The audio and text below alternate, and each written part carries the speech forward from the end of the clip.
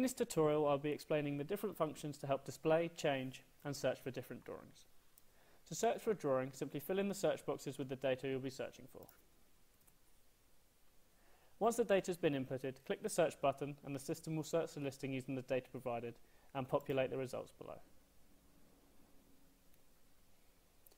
Users can favourite a drawing by clicking the star icon to the left of a drawing. If the user then clicks the Show Favourite at Top checkbox, all of the drawings that have been favorited will be displayed at the top of the listing. To remove a drawing from the listing, click the quarantine icon to the left of the drawing. When clicked, the user will be prompted to enter a reason as to why the drawing has been quarantined. A reason must be provided for every drawing that is being quarantined and must be entered here. Click Save to save the reason. This will move the drawing into the quarantine section and will notify all users that, have, that the drawing has been quarantined but will not be deleted. To add a comment to a drawing, simply click the Add Comment icon to the left of the drawing and a comment screen will appear. Write the comment you wish to add and upload a file if necessary, and then click Add to add the comment to the drawing.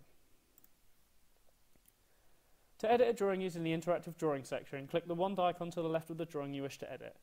This will redirect you to the interactive drawing section. Please see the interactive drawing tutorial for more information. Once adjusted, the wand will display in red to show that this has been edited in interactive drawings. Clicking the information icon will show the drawing's history. You can search for a specific update that has been made by selecting the user and date range and clicking the search button. The Send History button allows you to send the history to another user via email. By clicking the Export to PDF button, you can create a PDF file of the history.